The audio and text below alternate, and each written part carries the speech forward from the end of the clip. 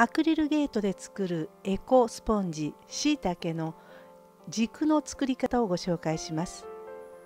編み図はコメントの URL からダウンロードしてください。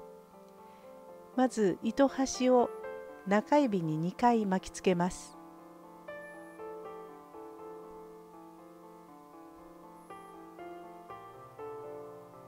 この中からかぎ針を出して向こうの糸をすくいます。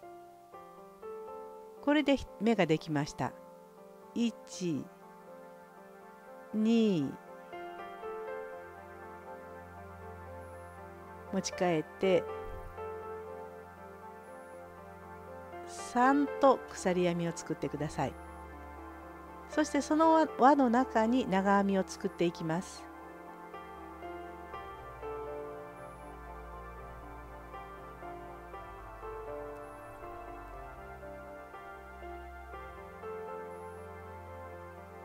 鎖編みと長編みを含め、えー、10目作ります。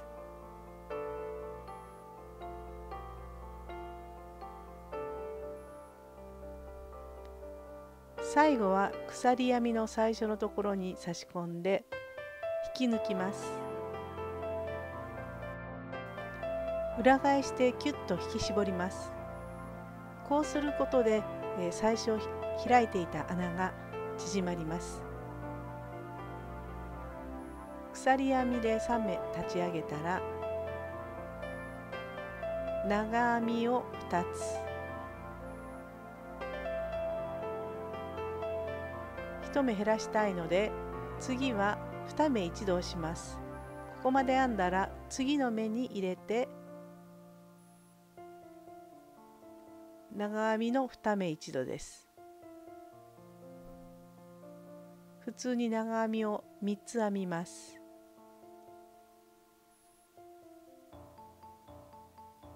最後の2つは2目一度です。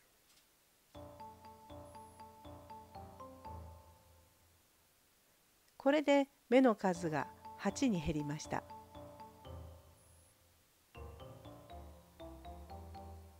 3段目はこのまま長編みを8目編みます。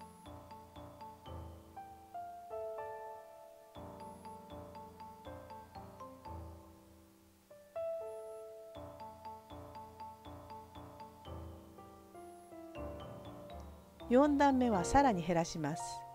6目にしますので鎖編みを編んで長編みを編んだら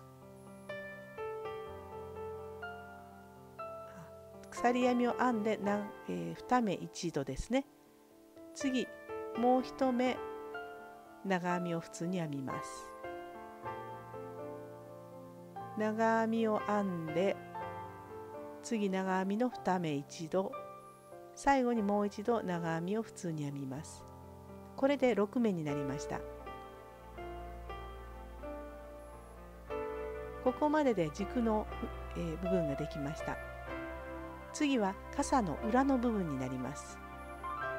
同じ場所に3目ずつ編んでいきます。鎖編みを立ち上げたところに長編みを2目入れます。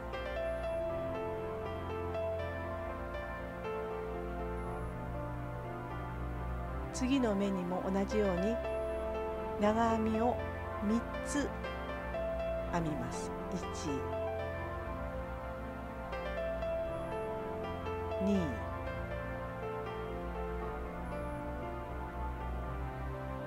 3これを繰り返していきます。1箇所に長編み3つです。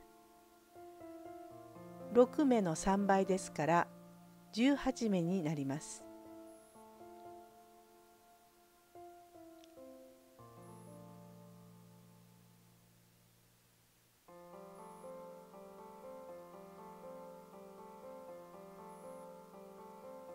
次はこれを32目にしたいので、え立ち上がったら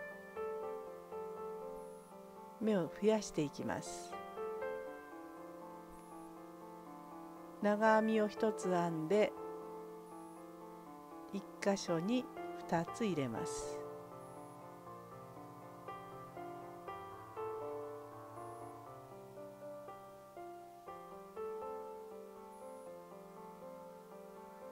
長編みを2個編んで1箇所に2つ入れる。これを繰り返していきます。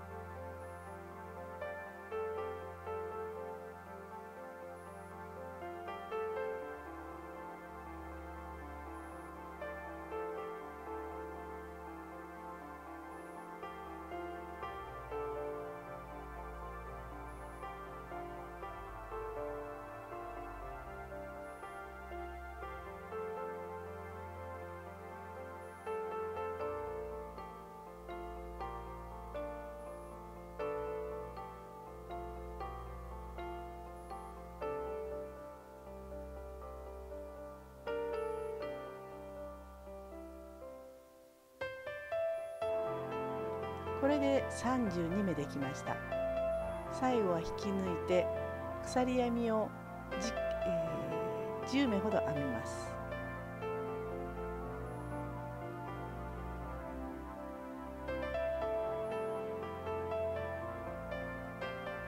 ハサミで切って糸を引き抜き最後はとじ針で留めます。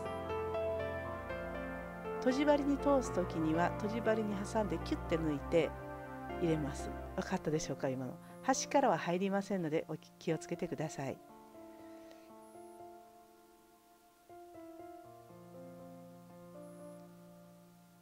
でとじ針でとちつけたらもう一度最初の鎖編みのところを通して裏に出します。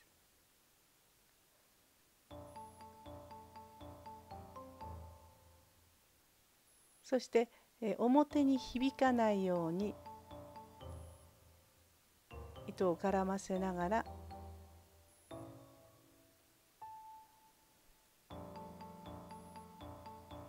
引き抜いて余分なところをハサミで切っておきます。